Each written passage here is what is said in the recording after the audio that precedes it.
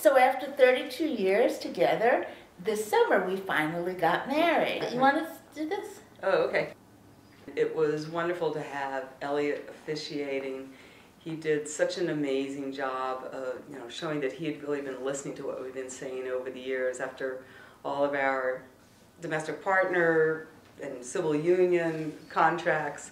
And, uh, but it was really special and to have so many of our friends from BK there and um, you, did you want to add something about that? We were registered as domestic partners in New York City and then domestic partners in New Jersey and then we had a New Jersey civil union and Elliot had been asking us at that time, you know, did we want to do something in the synagogue? Did we want to do something um, sort of less transactional?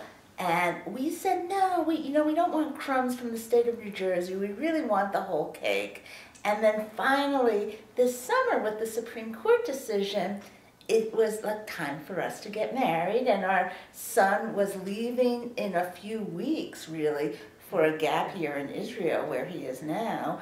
And so, you know, in the space of four weeks, we planned this wedding. Mm-hmm. And we met several times with Elliot, and we sort of thought it would continue to be somewhat transactional, but he really worked closely with us, and the ceremony really was very, very special and was really about the things that were important to us and our relationship, and it ended up feeling like a much, much bigger deal than we thought it would feel like after 32 years, and it, it was it was the wonderful. kids were our kids were all holding the huppah Yes. along with our niece.